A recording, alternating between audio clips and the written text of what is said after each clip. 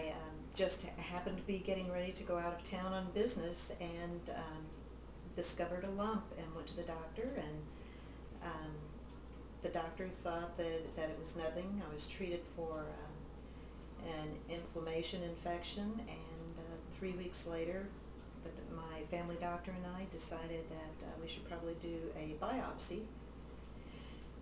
And December 7th, I got my diagnosis of uh, non-Hodgkin's lymphoma. Quite shocking. Quite shocking. Um, take us through the process of, of treatment and, and Brian's role as a caretaker. Um, the treatment was, um, uh, I was treated uh, at MD Anderson in Houston um, by a doctor who happens to specialize in my cell type of non-Hodgkin's lymphoma. And I underwent uh, what, what they termed was aggressive uh, chemotherapy only.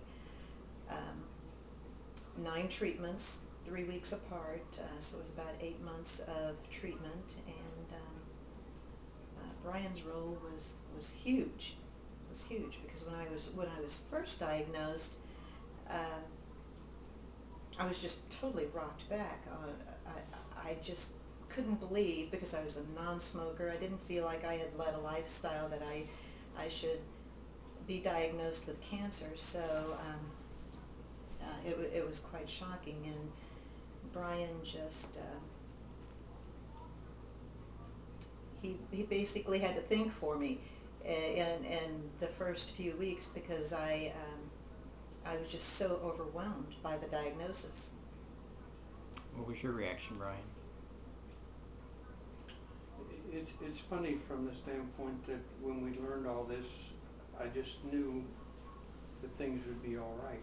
I felt that way. And if it wasn't for Kevin, quite frankly, all our faith that we had in our church family, it would have probably been more overwhelming. But uh, I knew that if I became overwhelmed, I wouldn't be any benefit to her. They would not be able to support and take care of her through all of. So you've gotta, you've gotta remain strong whether you want to or not. It's just required.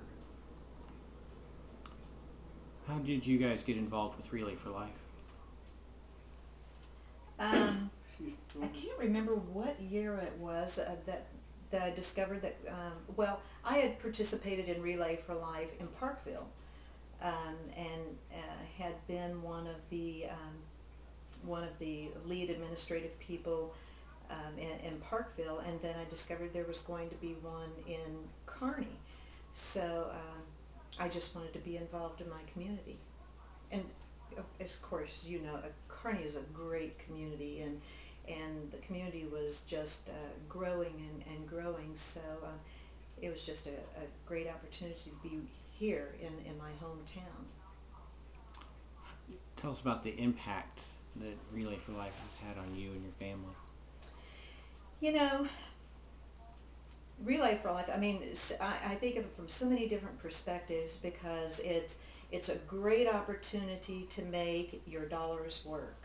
Um, it, it goes into, um, it goes into helping uh, provide uh, wigs, provide uh, other things uh, for, for people in this area. But we, we have a tendency to think that our contributions just, just get lost. But when you see it raised in the community, you see friends and family members uh, participating that, that, that you've known for, for many years, new ones that, that come every year that you know either they're supporting a family member or they're newly diagnosed or someone like me uh, that I just have an opportunity to to say to someone who's newly diagnosed, you know, here's a person who is standing before you and I've survived 16 years and I'm living quite a healthy life these days.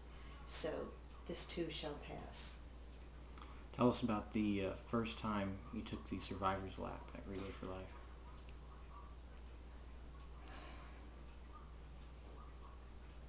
It was pretty emotional. It, it was. And uh,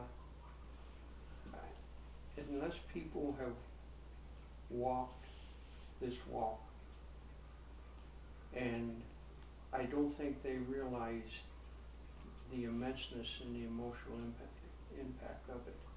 But the thing about Relay and the Relay for Life walk is when you look around and you see how many families, how many people that this has impacted as far as a disease, and how much strength that you can gather from them all together in all the actions and the activities. It's just amazing. It really is.